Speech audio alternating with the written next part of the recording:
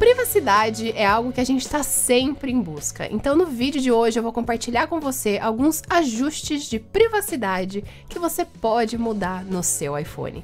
Mas antes de começar, não esquece de me dar aquele joinha e de se inscrever aqui no canal se ainda não for inscrito. Inclusive, eu também quero compartilhar com você uma nova ferramenta aqui do YouTube que é chamada de YouTube Shopping.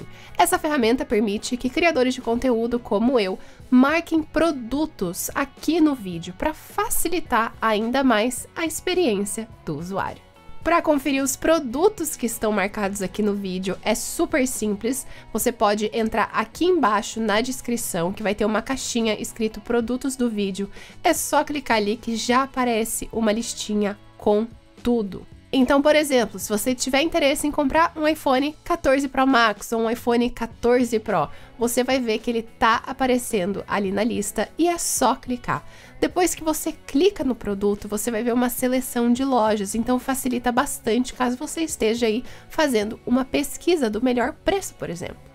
E além de clicar na caixinha que fica embaixo da descrição, você pode também clicar nesse botãozinho aqui, produtos do vídeo, para conferir de novo a lista dos produtos marcados. Então, como eu falei antes, essa é uma nova ferramenta do YouTube para facilitar ainda mais a experiência do usuário aqui na plataforma, que já faz aí, como vocês viram, uma seleção de várias lojas onde os produtos estão disponíveis. Então, não deixe de conferir. Então, começando, primeira dica tem a ver com Wi-Fi. Então, entre em Ajustes, pressione em Wi-Fi e aqui embaixo você vai em Conexão a Acesso Pessoal. Aqui é muito importante que você escolha solicitar ou nunca, porque você nunca sabe qual é a outra pessoa que está do outro lado dessa conexão. Então, você não quer entrar em uma conexão qualquer. Agora, vamos voltar aqui para o início dos ajustes, vamos pressionar em geral e aqui vamos em atualização de software. Pressione em atualizações automáticas e aqui eu super recomendo que você habilite as respostas de segurança e arquivos do sistema. Esse ajuste é super interessante porque vai permitir que o seu iPhone instale automaticamente respostas de segurança rápidas e arquivos de sistema. Tudo isso aqui no seu iPhone e também acessórios compatíveis, sem que você precise fazer uma atualização completa do iOS, por exemplo. Então, se a Apple liberar alguma resposta de segurança rápida, já vai ser automaticamente incluído no seu dispositivo. Então eu super recomendo que você deixe habilitado essa habilitada essa opção aqui. Agora, terceiro ajuste, se você usa bastante as notas do seu iPhone e tem algumas notas ali que você gostaria de proteger com uma senha, você pode também desbloquear essas notas com o Face ID. E é super fácil fazer isso. Então agora vamos voltar aqui novamente para os ajustes principais, procure por notas, então aqui, notas, clique em senha e aqui habilite Face ID. Isso facilita bastante a vida quando você está desbloqueando as suas notas, porque você não vai precisar ficar digitando a sua senha. A nota já vai ser desbloqueada automaticamente com o seu Face ID. Além disso, você pode fazer a mesma coisa com as suas fotos. Então, se você tem, por acaso, fotos no álbum é, escondido ou as fotos deletadas recentemente, você pode também protegê-las com o seu Face ID. Então, vá em Ajustes novamente, pressione em Fotos e aqui habilite Usar Face ID. Então, como você pode ver, o Face ID é exigido para visualizar os álbuns, itens ocultos e apagados.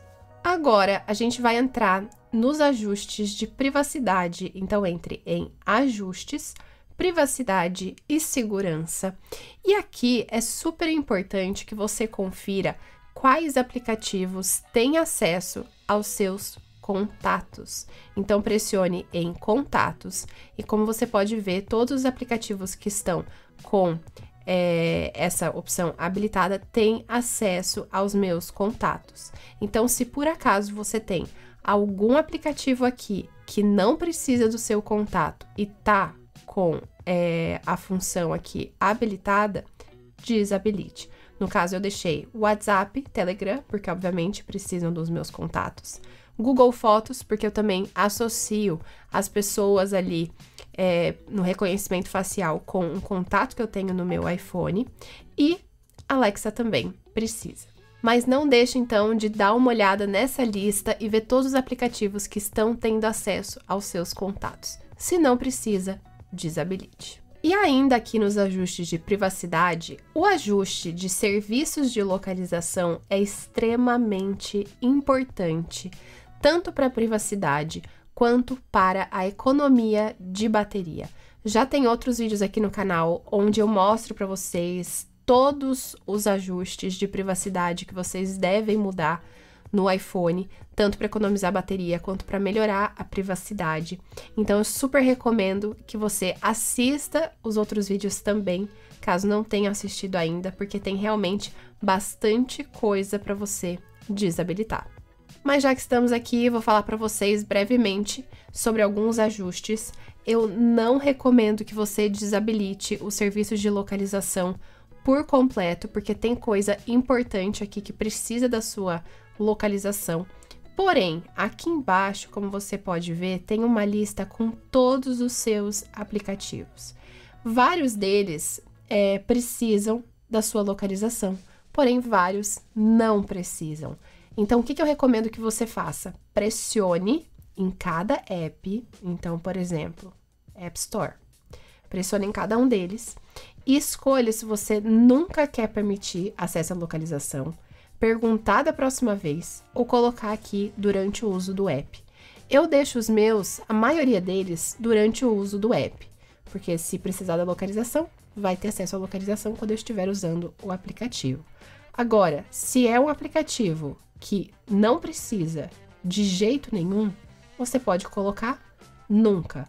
Agora, a palavra importante para você procurar aqui nessa lista é o sempre você não quer dar acesso é, a nenhum aplicativo todo o momento.